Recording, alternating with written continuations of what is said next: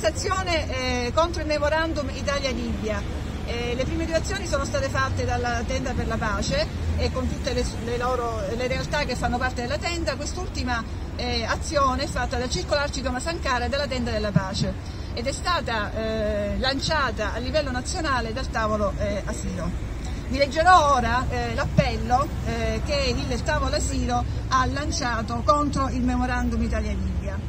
Cinque anni. Questo è il periodo di operatività del memorandum Italia-Libia, l'accordo con cui i paesi sulle due sponde del Mediterraneo si impegnano ufficialmente in processi di cooperazione, contrasto all'immigrazione illegale e rafforzamento delle sicurezze delle frontiere.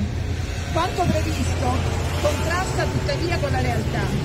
Le ricadute sulla vita di uomini, donne, bambini e bambine migranti sono infatti tra le conseguenze più drammatiche di un patto che è evidentemente illegittimo. Dal 2017 all'11 ottobre 2022 quasi 100.000 bambini, donne e uomini sono stati intercettati in mare dai guardia costieri libici e riportati in un paese che non può essere considerato sicuro. Essere una persona migrante in Libia significa infatti essere costantemente a rischio,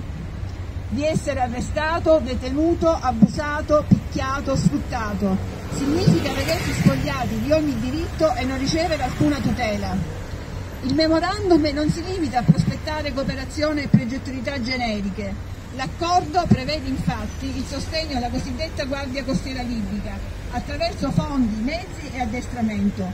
Continuare a supportarla significa non solo contribuire direttamente e materialmente al respingimento di uomini, donne e bambini, ma anche sostenere i centri di detenzione, ufficialmente definiti di accoglienza, dove le persone vengono sottoposte a, trattamenti inumani e degradanti, vengano abusate e uccise. Tutto ciò si inserisce in un quadro politico particolarmente instabile, in cui le violenze contro la popolazione crescono di anno in anno, così come gli sfollati, e dove innumerevoli testimonianze e rapporti di organismi internazionali confermano la commissione delle autorità libiche con le milizie e il loro coinvolgimento nel sistema di detenzione arbitraria, sfruttamento, abuso e tortura sistematica di migranti e richiedenti asilo.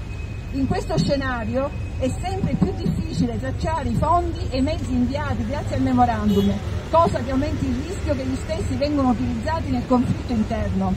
È inoltre pressoché impossibile fornire una protezione significativa alle persone vulnerabili. Le opzioni sicure e legali per lasciare il Paese sono limitate sia nell'accesso sia nei numeri, tanto che sono molte le persone che decidono di intraprendere un viaggio di ritorno via terra in particolare lavoratori stagionali provenienti da paesi vicini, correndo rischi simili a quelli già affrontati per raggiungere la Libia. Molti altri invece provano ad attraversare il Mediterraneo pagando somme messe da parte con lavori svolti spesso in condizioni disumane e affrontando viaggi pericolosi in cui la probabilità di annegare è alta, quanto quella di essere intercettati e respinti da, eh, dai guardia costieri libici.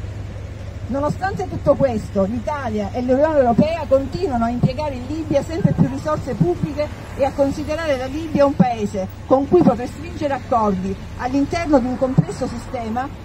basato sulle politiche di esternalizzazione delle frontiere, che delega ai paesi di origine e transito la gestione dei flussi migratori con il sostegno e la collaborazione dell'Unione Europea e degli Stati membri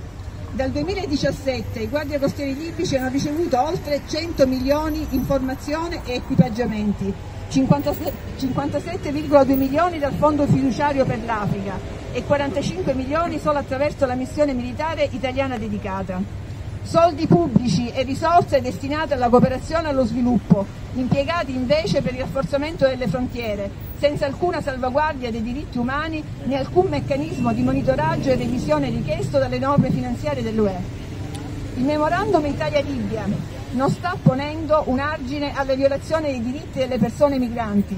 al contrario crea proprio le condizioni per il loro proseguimento, agevolando indirettamente pratiche di sfruttamento e di tortura, perpetrati in maniera sistematica e tali da costituire crimini contro l'umanità, così come definito dalla missione di inchiesta indipendente delle Nazioni Unite. Nonostante il memorandum prevede all'articolo 2 il sostegno alle organizzazioni internazionali presenti e che operano in Libia per seguire gli sforzi mirati anche al rientro dei migranti nei paesi di origine, compreso il rientro volontario, L'effettiva capacità di queste ultime di tutelare le persone migranti e richiedenti asilo in tale situazione è estremamente limitata e dipendente dalla scelta delle autorità libiche. Ciò dimostra, insieme alla situazione di insicurezza e instabilità del paese nordafricano e alle innumerevoli testimonianze degli abusi da parte di cittadini stranieri in Libia, la completa e totale irriformabilità del sistema memorandum e in generale di blocco delle partenze dalla Libia.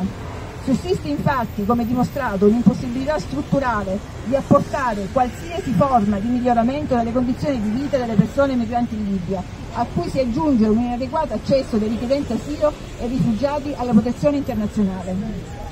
Tutte queste ragioni le persone migranti presenti in Libia e quelle che, in considerazione dei traumi vissuti, possono essere definite superstiti, chiedono che sia loro riconosciuta dignità umana, oltre che un pieno protagonismo politico e insieme a tutti coloro i quali si richiamano alla cultura giuridica europea sollecitano l'Italia e l'Europa a riconoscere le proprie responsabilità e a rinnovare gli accordi con la Libia. No al memorandum Italia-Libia!